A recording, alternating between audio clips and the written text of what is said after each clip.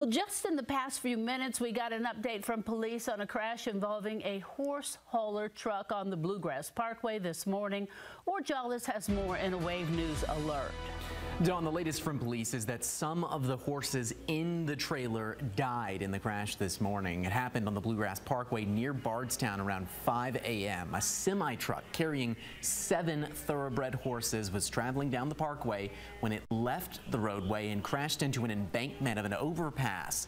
Of those seven horses that were on board, we now know three of them died at the scene. The other four horses were severely injured and taken to an animal hospital. Bardstown police Police tell us those horses are now fighting for their lives. The driver of the truck was also injured. Police say he had a severe cut to his foot that needed a tourniquet and two cuts to his head. He's recovering in a hospital and is expected to survive. The cause of the crash, though, is still being investigated. Dawn.